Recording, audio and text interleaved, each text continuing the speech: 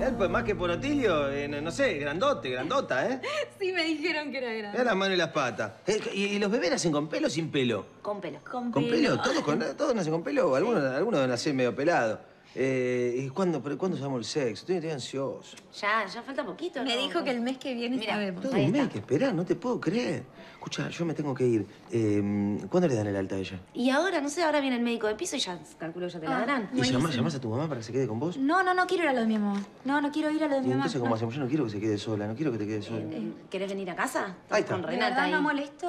Ay, no, si te estoy Ay, ofreciendo. Bueno, gracias. Escúchame, ¿de Mateo se sabe algo?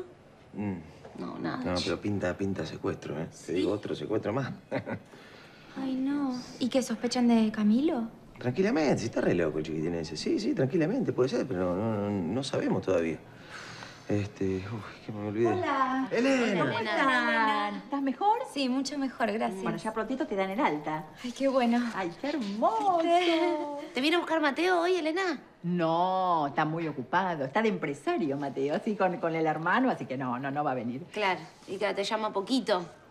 No llamó ni una vez hoy. Hoy no te llamó. No, me pone muy contenta y él está feliz, te das cuenta. Así que cambió mucho, cambió mucho. Estoy muy contenta por